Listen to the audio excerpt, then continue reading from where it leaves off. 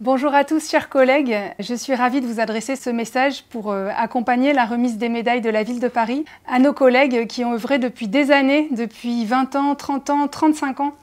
euh, au service des Parisiens et particulièrement à la DASCO, au service des plus jeunes, au service des enfants et des jeunes, des écoliers et des collégiens.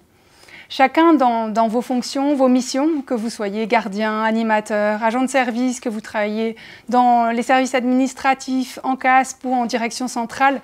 vous contribuez euh, à ce service public essentiel, vous contribuez à ce que chaque jour, 120 000 écoliers et 60 000 euh, collégiens et lycéens soient accueillis dans les meilleures conditions possibles et puissent bénéficier d'activités euh, riches et épanouissantes. Alors la crise sanitaire que nous traversons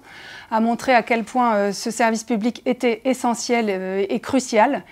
Elle a aussi mis en lumière que, vous y contribuez chacun, euh, chacun à votre place, chacun dans vos missions et que nous formons tous euh, un très bel édifice et que chacun y apporte sa pierre. Donc c'est pour toutes ces raisons que bien sûr je veux, en mon nom, mais surtout au nom de, la direction des affaires scolaires et de l'exécutif parisien, vous adresser mes, mes, plus vifs remerciements et mes félicitations pour votre engagement et votre dévouement quotidien,